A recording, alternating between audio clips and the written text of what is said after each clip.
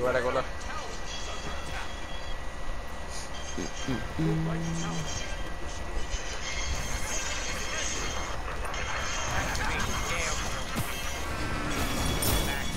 Yeah. Ini lebih gitu ya.